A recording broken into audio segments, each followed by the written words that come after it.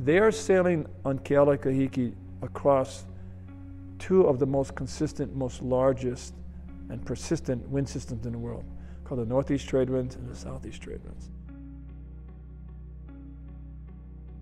In the convergence zone, where these two massive wind systems come together, and it's near the equator, and you get direct sunlight all year long, and so you have all this enormous lift. They say the doldrums don't have any wind. That's not true. The wind's not horizontal, it's vertical.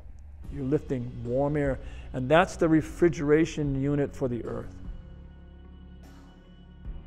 It takes hot air off the equator, sends it aloft, lifts it, and then there's three layers of winds in the atmosphere. Upper level winds take it north and cool it. So you take all this hot air, you send it north, and it's a refrigeration system. Otherwise, the earth would be impossible for humans to live like we do, like walking outside on the equator. It'd be too hot. The polar regions would be too cold. We have no idea how lucky we are as human beings to understand how there's so much systems that are in infinite definitions of balance.